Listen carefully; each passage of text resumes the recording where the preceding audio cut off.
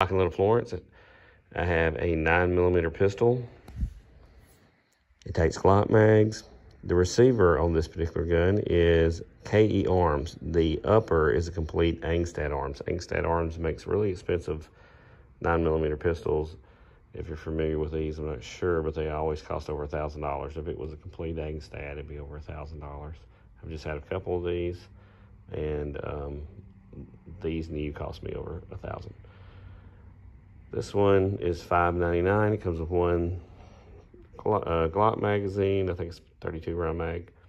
$599.